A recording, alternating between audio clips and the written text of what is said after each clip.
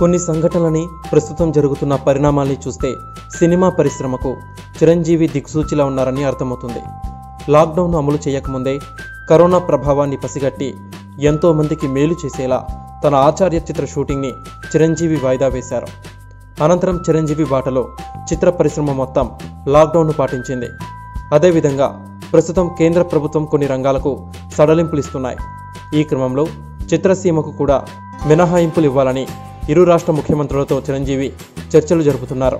ఈ క్రమంలోనే సీఎం కేసీఆర్తో భేటీ ముగియగా త్వరలోనే ఏపీ సీఎం జగన్తోనూ భేటీ ఉంటుందని ప్రకటించారు. కేసీఆర్తో భేటీ అనంతరం చిరంజీవి ట్వీట్ చేస్తూ తెలంగాణ ముఖ్యమంత్రి కేసీఆర్ గారికి పరిశ్రమలోని యావన్ మంది తరపున కృతజ్ఞతలు తెలుపుతున్నాను.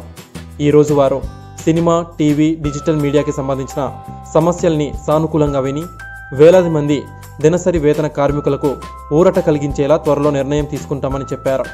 వినోద పరిశ్రమ పునఃప్రారంభించే విధి విధానాలు త్వరలోనే ప్రభుత్వం రూపొందించి అందరికీ మేలు కలిగేలా చూస్తామని హామీ ఇచ్చారని చిరంజీవి పేర్కొన్నారు.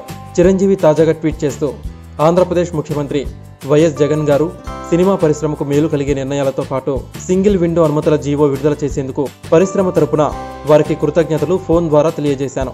లాక్డౌన్ ముగిసిన తర్వాత పరిశ్రమ సమస్యలపై చర్చించేందుకు కలుద్దామని చెప్పారు. అన్ని విభాగాల నుంచి ప్రతినిధులతో త్వరలోనే వారిని కలవడం జరుగుతుందని ప్రకటించారు చిరంజీవి. జగన్తో భేటీలో ముఖ్యంగా సినిమా షూటింగ్లకు అనుమతితో పాటు నంది అవార్డుల విషయం చర్చకు రాబోతుందని తెలుస్తోంది.